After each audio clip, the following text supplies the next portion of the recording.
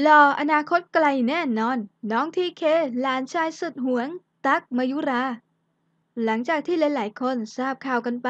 เรื่องน้องน้ำตาลนัชชา ที่ได้มีลูกและประกาศเป็นคุณแม่เลี้ยงเดี่ยว จนชาวโซเชียลออกมาให้กำลังใจกันเป็นอย่างมาก และในเวลาต่อมา ตักมายุรา นั้นก็เอ่ยปากสุดภูมิใจลูกสาว น้ำตาลทำหน้าที่แม่เลี้ยงเดี่ยว ได้ดีมาจนถึง 8 เดือน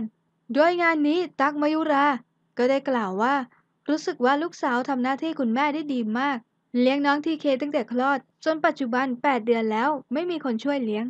ส่วนตัวมองเป็นงานหนัก เหนื่อยและยากสำหรับผู้หญิงคนเดียว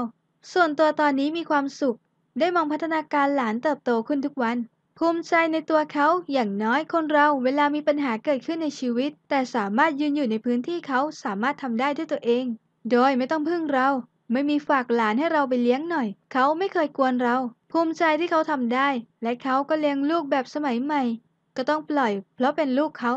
ได้แต่ดูอยู่ห่างๆ เหมือนกับเราไม่ใช่เจ้าของหัวใจเขา ไม่ใช่เจ้าของร่างกายเขา ก็ได้แต่แนะนำ ดีก็ชื่นชม ไม่ดีก็แนะนำ ถ้าไม่ฟังก็แล้วแต่ลูก ต้องบอกว่าวันนี้เราจะพาทุกท่านมาส่องภาพล่าสุดน้องทีเค